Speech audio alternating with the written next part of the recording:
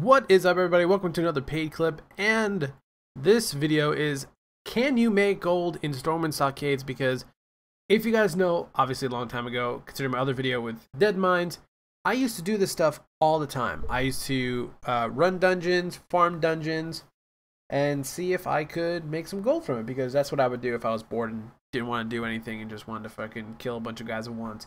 And uh, wow, lots of you know memories farming here on my pally before I was level 60 farming a bunch of gold. I mean, it was really cool back then. Uh, so I did one run through and uh, oh god, I don't know how long it took me. Most of the time is is uh, from looting, but uh, made one run through now. Keep in mind this isn't going to be a lot of gold, and it's not really for level 85s because let's be honest, you can go around farming and doing daily quests and probably make more gold here, uh, or doing the dailies and, and whatnot. But it is fun if you're just sitting in, in Stormwind and just doing whatever. Obviously, the Demon Band uh, was up there for 200 gold. I was like, let me drop it down to 75. Probably shorted myself. Uh, obviously, probably like 100 gold. Probably could have put it for like 100 or something. Um, so here's all the uh, the stuff I looted out. Wool cloth. I don't know moss agate, moss agate. I don't know how to say that. But uh, those sold for 33 gold each. Then that's 92 gold.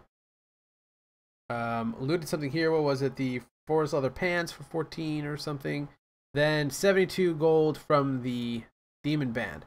So altogether, um, very interesting to find out that you can make 179 gold, and that's one run through.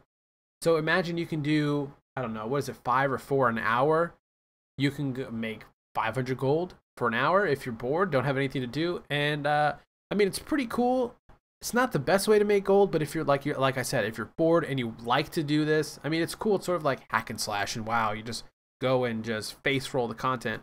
Um, and this is something I used to do, and I wanted to try to do it again and see if it's still possible and still worth at least a little bit of an effort to do it. Uh, so I hope you guys enjoy the video, and obviously more videos uh, with this series coming up. And it's just, there's nothing really going on in WoW that much right now. I'm waiting for Mists of Pandaria, just like all of us. And uh, that's about it. See you guys next time. Peace out.